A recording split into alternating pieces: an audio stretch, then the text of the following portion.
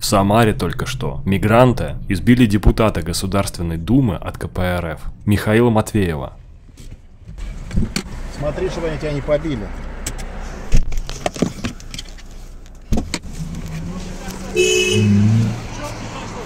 Так, ребята, остановились! Остановились! Остановились!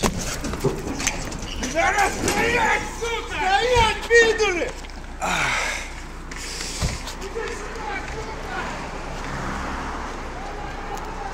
Фу, бля. Я не добегу, это молодежь. Нихуя, въебал что ли? который известен своей борьбой с нелегальной миграцией. Ему прямо на улице разбили голову палкой, а потом разбили о его голову бутылку, трое нападавших. Изначально Михаил Матвеев и его водитель ехали по Самаре и увидели, как мигранты задираются на прохожих и бьют людей палкой ради развлечения. И они решили остановиться, чтобы прекратить эти действия, после чего напали уже на них. И остановить избиение удалось только когда русские мужики с палками погнались за этими мигрантами. Что примечательно, скорая помощь и полиция не приезжали на место около часа, и лишь спустя большое количество времени Михаилу удалось попасть в больницу, где ему накладывали швы и забинтовали голову. И, по иронии судьбы, врач тоже оказался не русским. Я считаю, при текущих событиях вообще нужно на правила Дикого Запада переходить, где каждый ходит с револьвером на поясе. И просто стрелять в такую погонь на месте. Но что это такое? Мигранты ходят, избивают палками прохожих ради развлечения. Потом бьют уже самих депутатов Государственной Думы. Потом люди попадают в больницы, там врачи уже тоже все не русские, а приезжие из других регионов или из других государств. Все это на фоне того, что в полицию хотят нанимать массово таджиков. Записывал об этом ролик вчера. Более подробную информацию, без цензуры, читайте у меня в телеграм-канале. Ссылка в описании канала. Если кратко, ситуация такая.